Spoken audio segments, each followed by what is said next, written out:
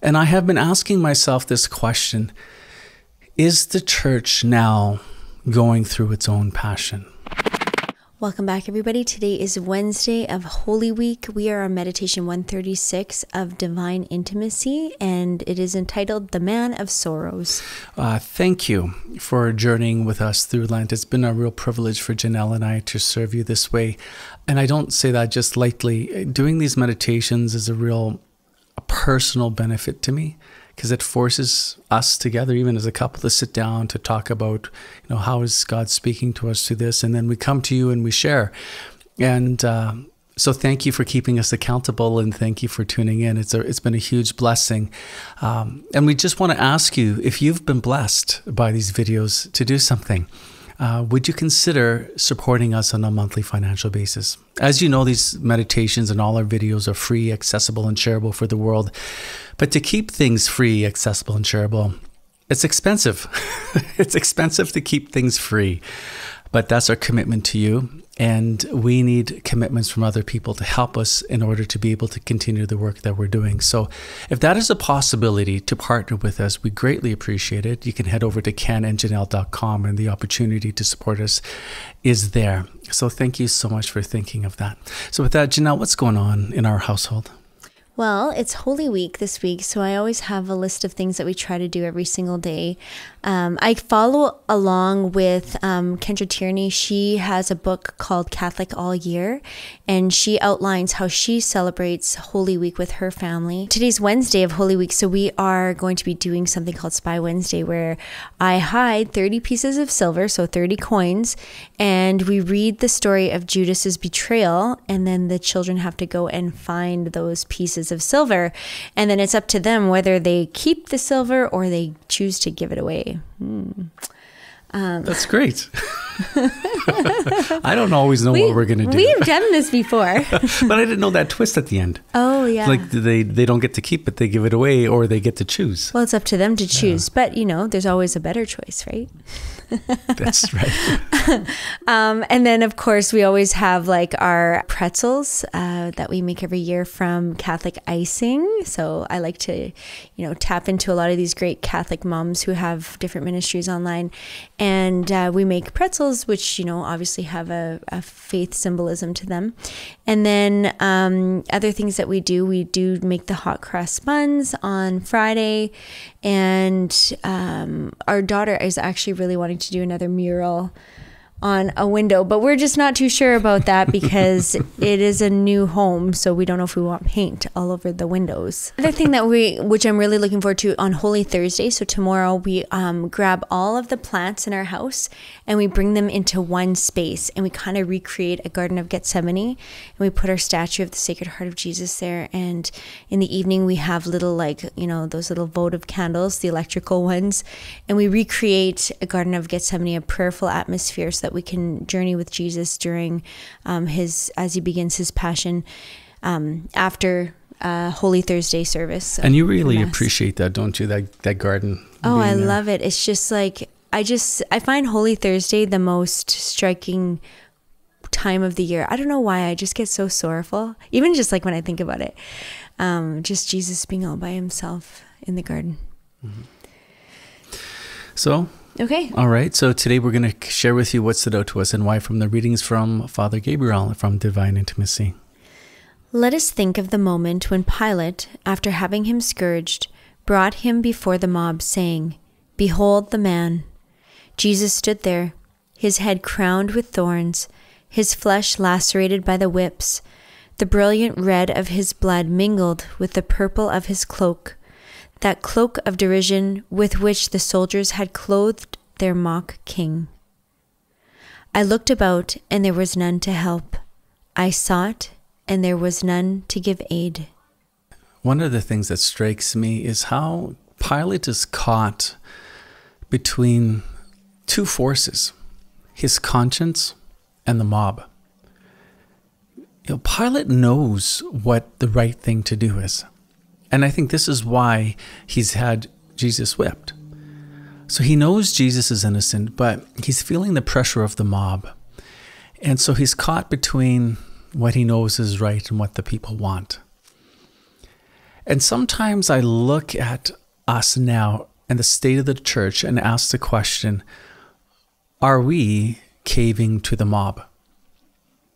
There's a lot of pressure outside the church and also, unfortunately, within the church to change the church's teachings to be more accommodating to the world. And I can't help but think about Jesus, who was on that great stage that day, whipped and disfigured. He went into the passion as the King of Kings, the Lord of Lords, but now he's mocked and he's disfigured. He's still recognizable, but it's harder to recognize him. And I wonder sometimes if this is what's happening within the church. To accommodate the mob, to make our teachings more accessible, the teachings of the church more accessible and likable, we come up with new ways of expressing traditional teaching, all at the aim of accommodation. And so we whip Jesus. And he doesn't look the same, but he's still there, but it's harder to recognize him. I think to accommodate the mob, we sit and we listen. And we listen and we listen to people tell us about what they do not like about Jesus and why they have left Jesus and why they have left his church.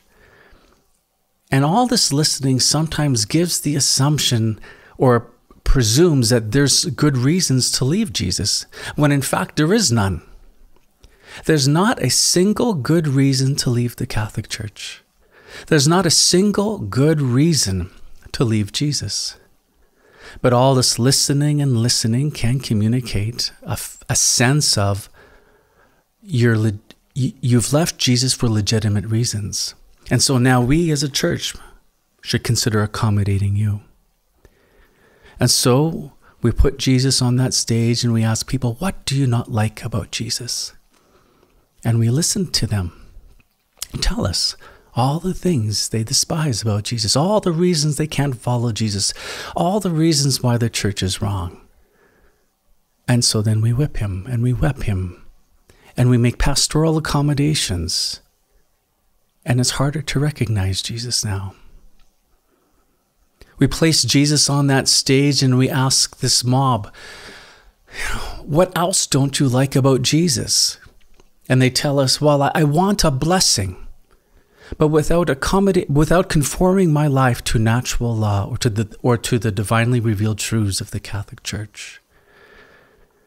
And so we maybe we say fine, and we create new blessings, and we whip Jesus, and he's still there, but it's harder to recognize him. I think we're listening to the mob too much, because the mob only knows one thing. It knows what it does not like, but it does not know what it wants. And it always leads to this response away with him, away with him, crucify him. That's where the mob leads. The church does not exist to accommodate the mob. The world is called to conform their life to Christ. And I wonder sometimes with these movements within the church that are happening now that we've got it backwards in some respects. And so Jesus is there, but he's whipped and he's disfigured and he's harder to recognize. And I have been asking myself this question Is the church now going through its own passion? And maybe you're thinking, well, Ken, is that even right to say? Well, let's look at the Catechism of the Catholic Church. Before Christ's second coming, the Church must pass through a final trial that will shake the faith of many believers. The Church will enter the glory of the kingdom only through this final Passover, when she will follow her Lord in his death and resurrection. So, what do you think?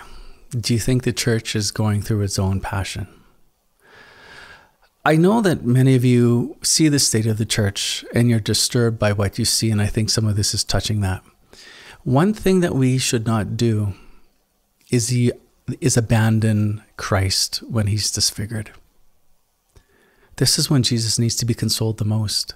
Faithfulness to Jesus and the teachings of his church is what we are called to do. You know, when Jesus stood on that stage and he, and he was before the mob and Pilate was on one side of him, I can't but help think of those who he selected, the future shepherds scattered.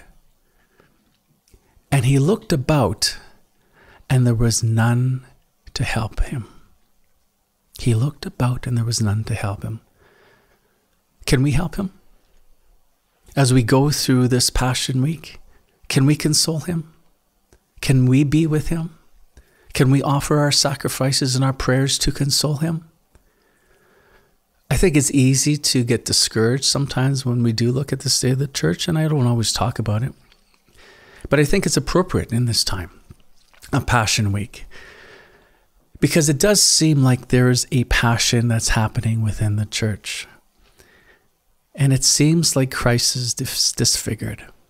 And he looks upon to the horizon to see if there is any that could help him. Let it be us. Let us console him.